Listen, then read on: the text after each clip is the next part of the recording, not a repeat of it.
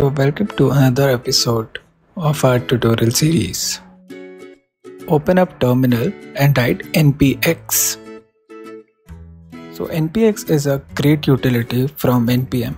You don't have to install any of the dependencies globally. You can just write npx and the name of the library and start using the library without even installing it. So we'll write npx create react app then the name of the app what do you want to name it? You can name it anything. I have named it SaaS startup. Then i wrote the template uh, flag and i mentioned it i want it to be a typescript project. So typescript is a superset of type, uh, javascript and it adds type safety to the javascript projects. We'll discuss what it is in detail in the later videos but for now uh, just keep a note that we are using TypeScript.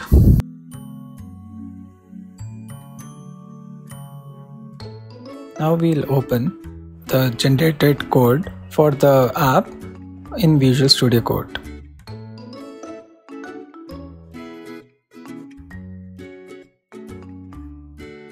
So this is the folder structure of a typical React project. The tool which we have used is known as Create React App. So on the right hand side, we can see there is a first folder uh, which is named as node modules. That folder contains all the dependencies which our React project needs. The second folder which we have is known as public folder.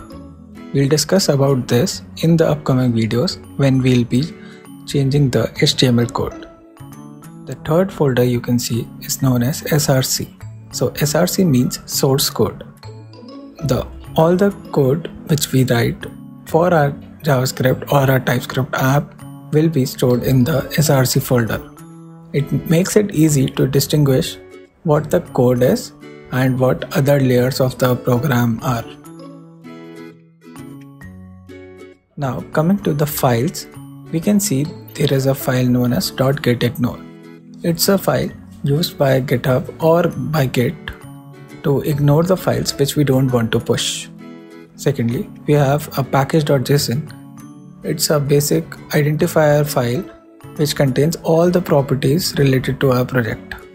Then we have a readme file which contains all the project related documentation or anything which we want to show on our Git or GitHub repository. Then we have tsconfig.json uh, it contains all the properties related to our TypeScript and TypeScript's compiler. Last file which we have is yarn.lock file. It's an auto-generated file generated by Yarn Package Manager. If you are using npm, then you will get package-lock.json file. Now we have a bunch of files which are auto-generated by our React boilerplate project So this is the index.tsx file. So basically our code starts from this file and this is the entry code or entry level file which starts our React app. This is the first component which is auto created by create React app. This is known as app.tsx. This file contains some imports which are logo, and the styling sheet app.css so basically the html looking like structure or the code which you can see is known as jsx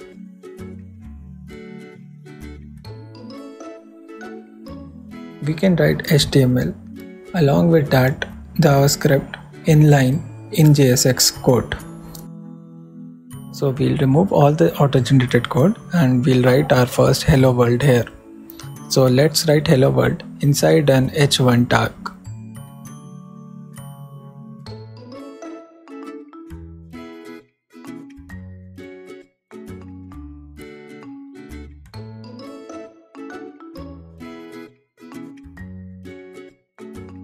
We will clean up this app.css file because we'll be using our own styles here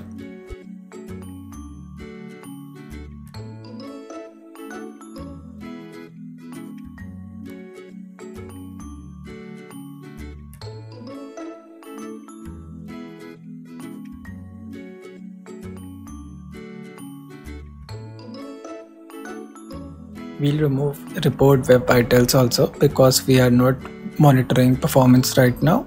It's an advanced topic and we'll be using later on in the same series.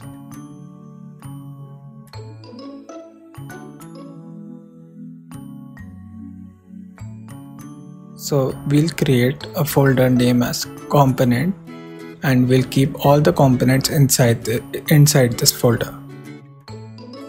We'll create a navbar first. We'll go from a top to down approach.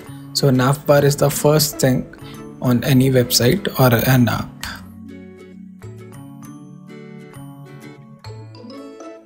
Let's import our navbar and try whether it's working or not.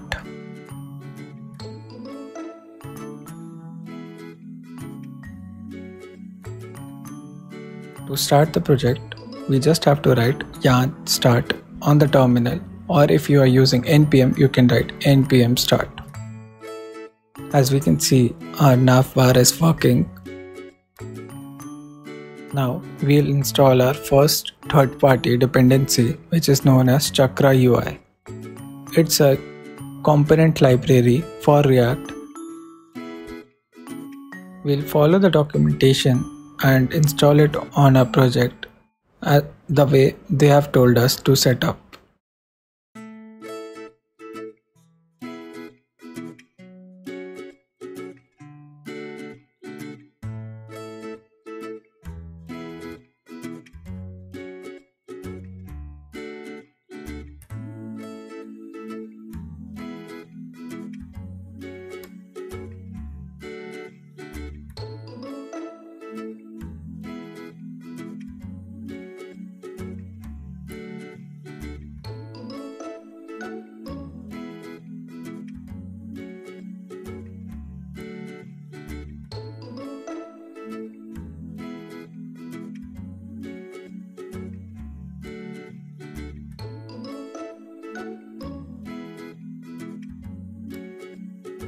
As you can see, they have a good documentation and you can use it in any type of React project.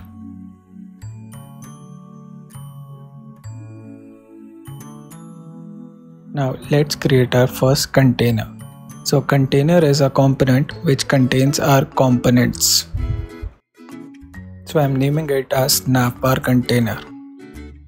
Usually the convention which we'll use will be the component name and then container. So we'll get to know that what container this is about.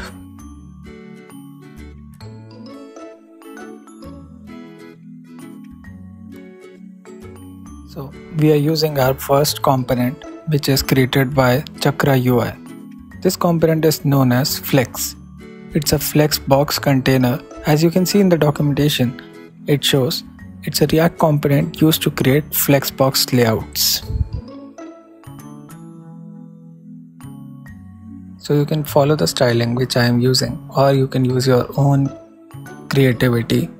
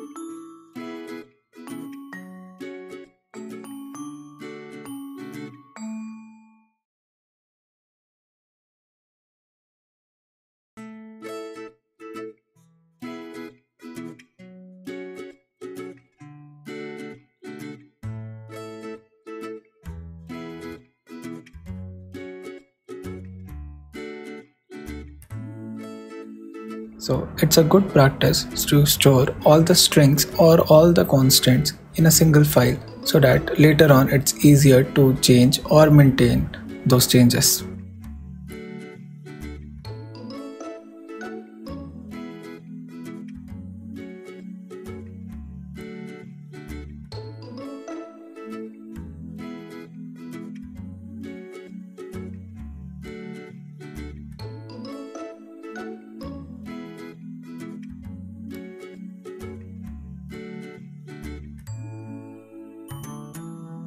You can name the app whatever you want. Here I am naming it as SaaS Startup.